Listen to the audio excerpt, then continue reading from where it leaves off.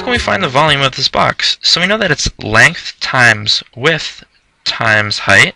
And so in this case, it's going to be 11 times 4 times 3 inches.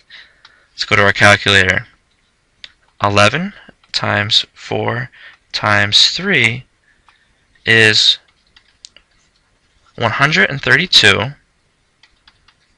cubed inches.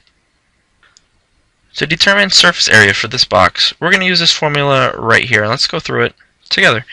So I can see that 2 times length times width plus 2 times length times height plus 2 times width times height. So let's go to our handy dandy calculator. 2 times 11 times 4 is going to give us 88. I see that 2 times 11 times 3 is 66 and 2 times 4 times 3 is 24.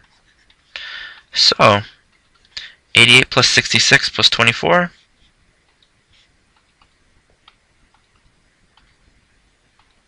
is going to give us 178 squared inches.